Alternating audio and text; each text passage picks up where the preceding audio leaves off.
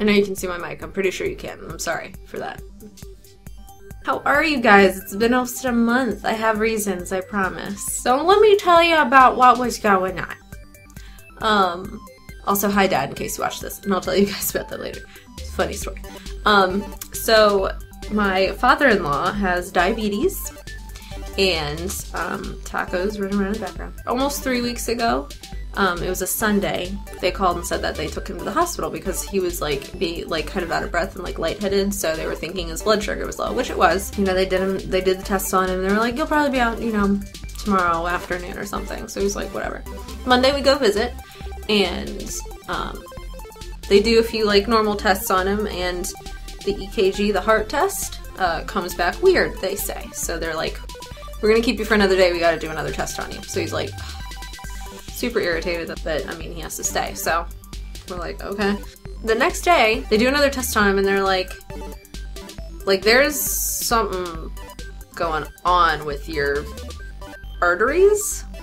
So we're gonna have to do this thing where we like basically like put something in your arm and like travel it through your artery to the blockage and then we'll find out what we have to do from there. So that was already like enough. Like just thinking about that. So he he was we were getting like pretty worried at this point because um, at the time they told him that it was Tuesday and they were telling him they were going to do this thing on Wednesday, the day after, and he's already like like he was in the mindset he was going to be leaving on Monday and he's been there two extra days. So shh, come here, come here, you stink. So uh, the next day they they do this test on him and they're like, so this could go a few different ways. Um, we, if the artery, if the blockage isn't that bad, we can break it up with the whatever this thing is we're putting in your vein, um, or in your artery. We can break it, break it up, Blake Brock, break it up with that. We can do that. We can do. There's some other thing. Oh, I think they said if it wasn't that bad, then he, if he just eats right for a few months, it'll be fine.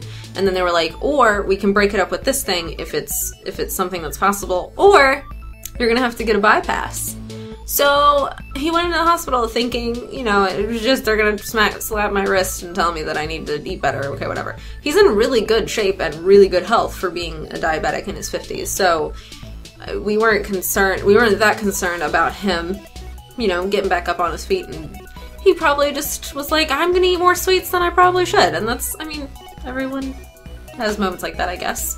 So anyway, they they do this thing on him and they're like, you're gonna have to get the bypass. So he's like, oh my god, he's terrified at this point because he wasn't even remotely prepared for this. Um, he had an EKG probably six months ago and apparently nothing came back, so I don't really know if this could, I don't know if this kind of problem is something that could like come up out of nowhere, like it apparently did. They had his surgery scheduled for Monday. So he gets to Baltimore on Friday or Saturday, one of those days. So between Wednesday and the Monday where he's supposed to have his surgery, they're saying, we're gonna just do the robotic one, you know, it makes a little incision. Because he was really concerned about the, the scar that you get when you have a bypass. He didn't want that. Of all things to be concerned about. So they were like, we'll just do the robotic one, you know, we go make a little incision on your side and go in and do everything that way and fix it that way. So this was in his mind as to what was gonna happen. So he was you know, getting used to the idea, and throughout the weekend, he was feeling a little bit more calm about it. So Monday morning, Andrew and I go up there at like 6 o'clock in the morning because his surgery was scheduled for like 7 and they were to take him back at 6.30. We're, we're all sitting in the room hanging out and he's, he's nervous, but he's okay because they've been talking to him about this for a few days. And the, the surgeon finally comes in at like 6.15. This is 15 minutes before they're to take him back. And the surgeon's like asking him all these dumb questions like, what do you do? What's your job? You like your job? You know, like trying to act like he cares, but they, he really doesn't. He's trying too hard. So we're all standing there feeling kind of awkward. And the surgeon goes, So I want to talk to you about how I think I would be doing a disservice to you by doing the robotic bypass. And everyone in the room was just like, like you could see everyone tense up because we knew where this was going. We knew it, and they were doing it 15 minutes before he had to go back for surgery. Can you imagine? Andrew's dad's just like, uh huh.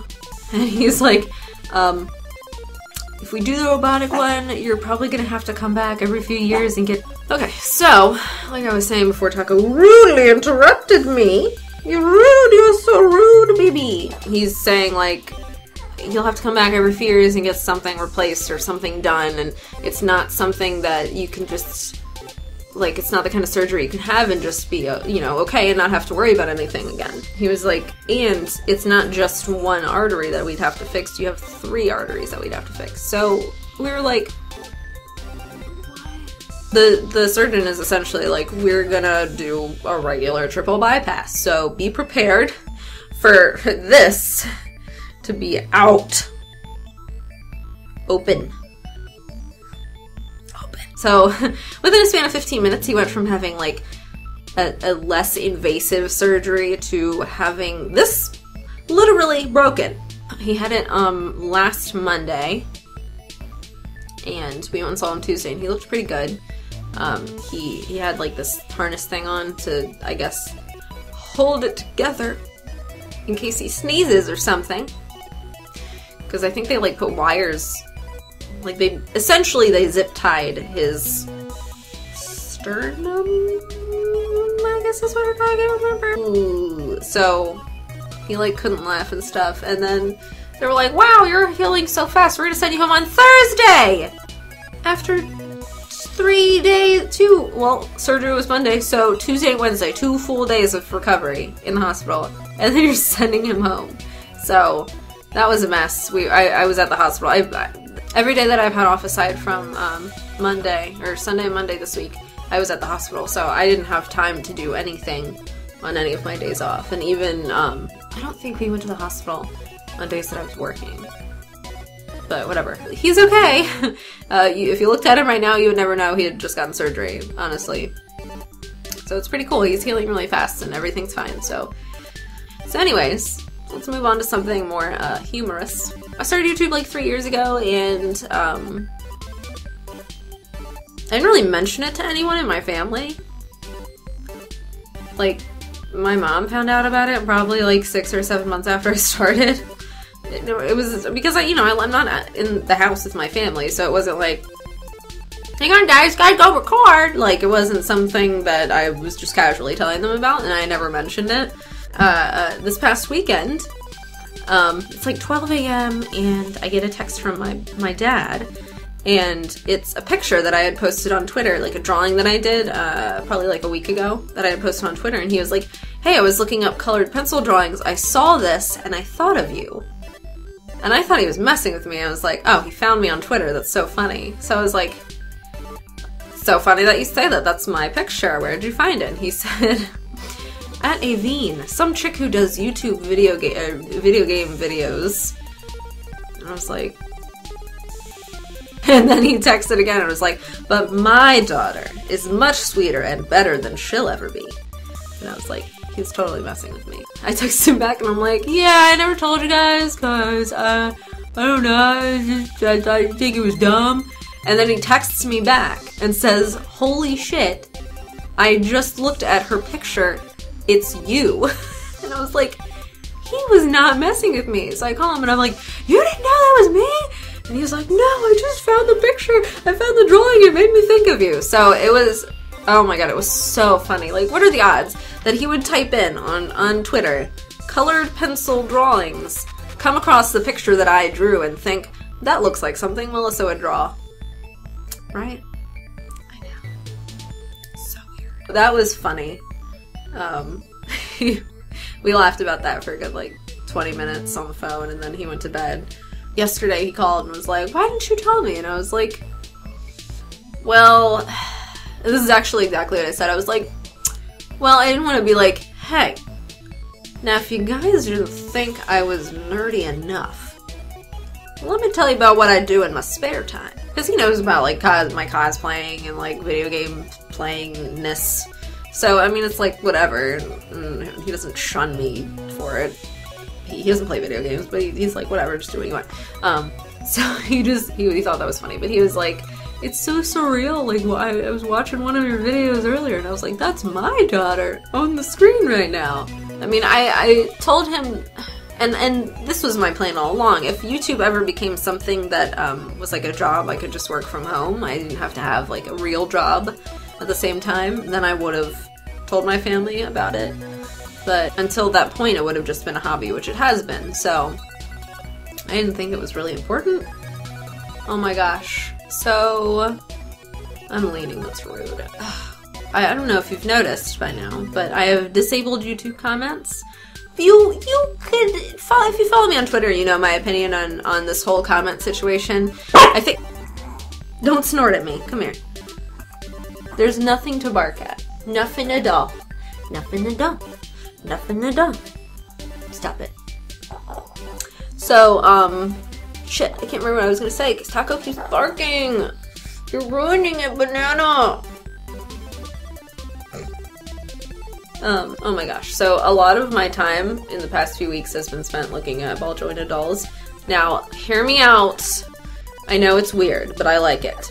Um, Asian ball jointed dolls are are dolls that are made of resin that you can like paint and buy eyes for and wigs and if you have like a character like a lot of people have characters that they've made up for stories or whatever drawings that they turn into these dolls and they're super adorbs. They're a little bit expensive, but it's it's one of those like collectors type hobbies where it's you know it's not they're not cheap.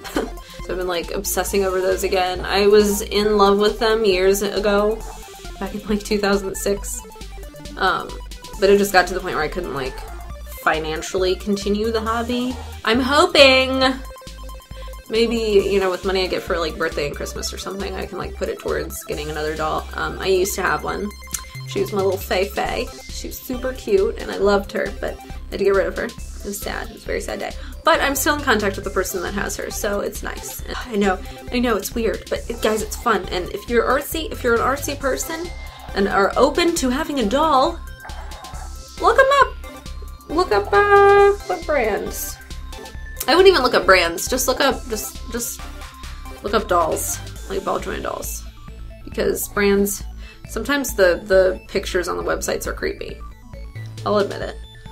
I don't know. It's just really fun. It's like super customizable, and no one's doll is the same. It's just cool. So yeah, yeah, it's pretty neat. It. Oh, um, excuse me. The other day, I was able to edit um, the podcast video that Remy Volk and I did for um, uh, a machine for pigs. I was editing a little bit more. Um, I have all of our audio edited. I just have to put in like videos and clips and background music and that kind of stuff, which shouldn't take as long as it took to actually edit the audio. But I'm pretty sure it's like an hour and a half long, so I hope you guys are ready for that.